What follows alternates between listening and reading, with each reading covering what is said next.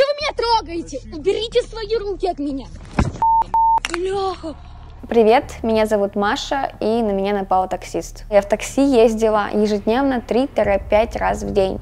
С работы на работу по своим делам я ездила так на протяжении года, двух. Это было 21 октября, ехала я с подругой на студию, у нас была съемка, промо-видео. Вызвали такси, а, он подъехал на Предславинскую 12, мы вызывали, он подъехал уже а, немножечко не по адресу, а через дорогу, во-первых, и немножечко дальше. Ну, я думаю, это не проблема, мы спокойненько вышли, подошли к нему. У меня была в руках банка орехов, было 4 часа вечера, и надо было уже покушать. И у меня просто банка орехов в руках, я иду по дороге, кушаю, сажусь в машину, я уже с банкой относительно закрытой, и он мне говорит, водитель, пока ты банку не закроешь, ты в машину не сядешь. Я такая, окей, я закрываю банку. Я помню, из этого мне сразу же не понравилось, и я сижу с подругой и говорю, давай вызовем другое такси, потому что, говорю, будет какая-то лажа, сто процентов. Она говорит, нет, мы очень сильно спешим на студию, поехали. У подруги не было никакой ни еды, ничего, то есть абсолютно ничего в руках не было, кроме сумок и костюмов. У меня была банка орехов, которую я поставила закрытую между ног, и куча сумок. Мы едем, он смотрит все время в зеркало заднего вида. То есть ты всю поездку едешь, на тебя всю поездку смотрят. Все время оборачивается. То есть не просто ты обернулся, а разворот на 180 градусов, и что вы там делаете? Мы такие сидим, здравствуйте. Вы нас высадили возле какого-то ЖК. Адрес стоит вот здесь. Конфликт был в том, что он остановился и сказал, выходите из машины.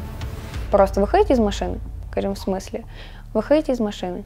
Говорим, ладно, но мы подъехали не по адресу. Он говорит, мне показывает точку здесь. Открываю Google Maps на своем телефоне, вбиваю точный адрес студии «Белый чемодан», показываю, вот мы не доехали, нам нужно еще проехать. Он говорит, нет, выходите из машины. Подруга расплачивалась, она говорит, сказала, в таком случае мы доплатим не полную стоимость, а около 70% да, мы оплатили. Его это взбесило.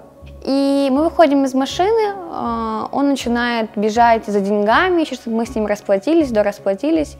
Мы ему объясняем ситуацию, что вот так и так, и мы не будем расплачиваться. Подруга в шоке, я иду сзади нее, поэтому я как бы получилась под ударом. И э, первый раз он меня схватил за спину, как бы за шиворот здесь, я была к такому не готова. Он начал меня просто так по кругу водить, я как-то его толкнула, относительно руку скинула его. И начиная идти, он а, разворачивает меня, берет за шею, и, начи- и начинает просто меня давить.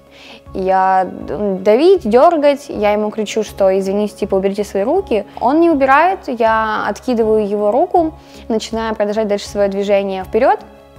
Он хватает меня за сумку, разворачивает меня, носит удар. Не дай бог ты ко мне притронешься.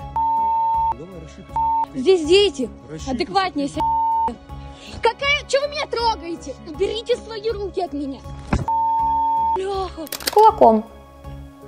Просто взял и ударил сюда. Ударил он в солнечное сплетение, я просто, я в шоке на самом деле, я в такой ситуации первый раз в жизни, я не ожидала, что так будет, и мне больно, я не смогла нормально дышать, я просто села подышать, вещи у меня от ударов все разлетелись, то есть сумки все повыпадало, и я села, это двор какой-то, Поставила сумку на пол, э, на асфальт, вещи так все и валяются, я просто сижу, пытаюсь отдышаться. Просто повезло, мне очень повезло, что была женщина, которая крикнула ему, у нас здесь живут люди с э, правоохранительных органов, поэтому лучше уезжай. В итоге он бежит в машину, садится в машину, разгоняется едет на меня. Да, я такая думаю, прекрасны. В ту секунду я сижу, мне плохо, и я хватаю сумку, вещи я уже не успела схватить, и просто тупо отбегаю от, этого, от этой дороги.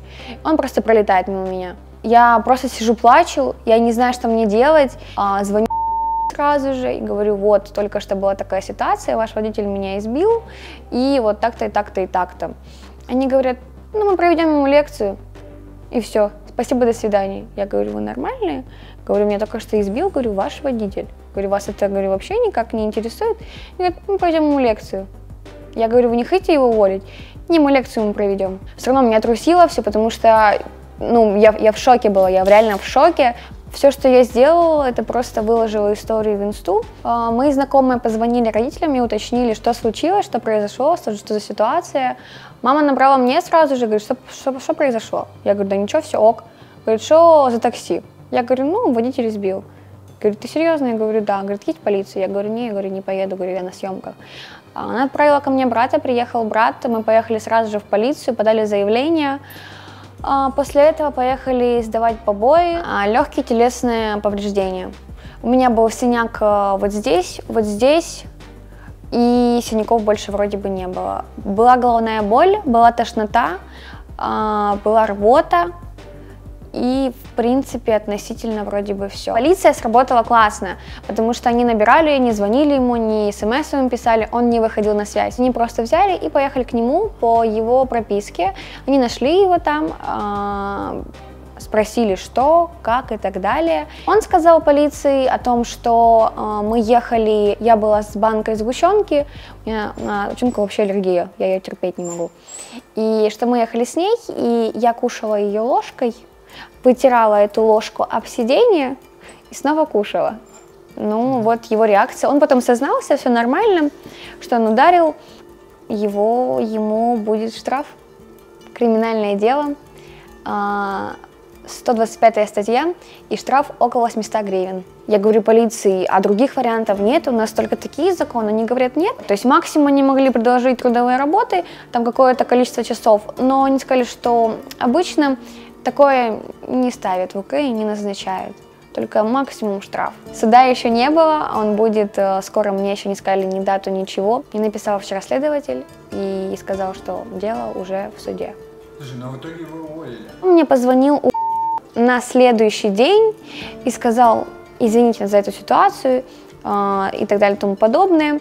И мы вам приносим свои извинения и дарим вам э, бонусы в размере 500 гривен. Я говорю, прекрасно, спасибо. И все, они говорят, да, извините, до свидания. Да, то есть они позвонили, сказали, что мы его уволили, и мы дарим вам бонусы. Не знаю, мне его лицо некоторое время снилось.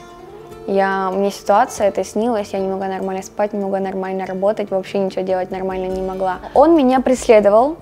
После ситуации я жила на Прицанской с подругой. Как-то один раз я просто выхожу на улицу, смотрю, машина стоит, это же. Я думаю, ладно, показалось. Смотрю, похоже, водитель очень. Думаю, ладно, не, Маш, ты уже просто, это, это бред. Нет, параноишь. Потом я уже второй раз возвращаюсь домой. Я смотрю, как едет просто на меня человек, ну, возле меня. Я понимаю, что это тот самый водитель, та же самая машина, те же самые номерные знаки. И я просто в таком шоке, я в капюшоне, я опускаю голову и домой. После этой ситуации я переехала к семье на другой адрес и никому нигде ничего не говорила и нигде не светила, чтобы не было подобных ситуаций. Для чего он следил за мной, почему, я не знаю. А, первый раз, когда по ситуации, я поехала в такси, я плакала. Я ехала не одна, слава богу, но я просто сидела, меня трусило, я плакала, потому что ситуация для меня была шоковая, и мне было страшно. Первые три раза я ехала в слезах, Потом я еще пару раз поездила в такси, и сейчас я стараюсь вообще окончательно в нем не ездить. Я планирую купить себе э, баллончик, я думаю, это поможет хоть как-нибудь. Но я избегаю сейчас вообще, я не хожу по вечерам одна никогда, только на машине передвигаюсь, благо у меня вся семья на машине. И это, это комфорт, это классно, я никогда не хожу по вечерам одна, стараюсь вообще этого избегать, и никогда Никогда, ни с кем не встречаясь вечером. Никогда. Как вообще люди реагируют, когда узнают твою историю?